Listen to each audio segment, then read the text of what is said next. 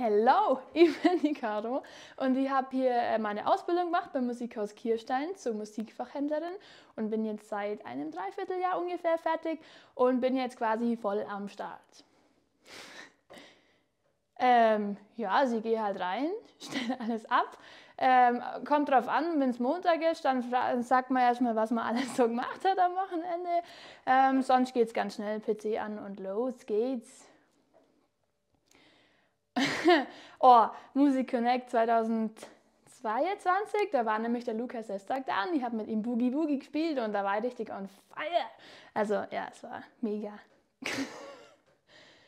ähm, boah, das finde ich ganz schwierig. Das ist immer so total phasenmäßig. Also ich weiß nicht, manchmal bin ich eher so Heavy Metal unterwegs und manchmal eher so Boogie Woogie. Boah, es ist echt, ich kann es gar nicht sagen. Also, wie gesagt, Lukas Estag finde ich cool, aber das ist immer so, ich mag so viele. Ich möchte mich nicht festlegen.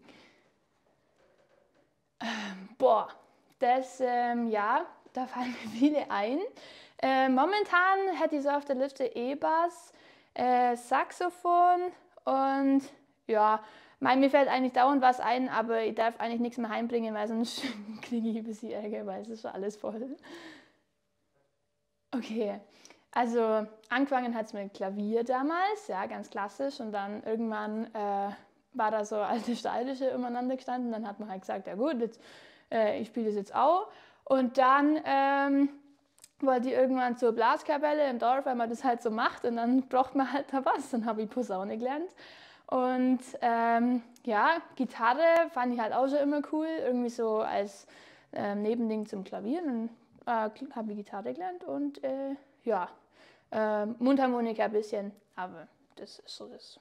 Und singen tue ich auch ganz gern. Äh, für meine Ausbildung. Ah, jo, ja, äh, zweites Lehrjahr ähm, in Mittenwald. Die, die Schule war echt sehr cool. Also das macht richtig Spaß, kann ich euch sagen. Also nicht nur die Schule, auch das Rahmenprogramm. ähm, genau, also richtig geil, kann man nur empfehlen. Oh mein Gott. äh, ja, okay, schauen wir mal. Ähm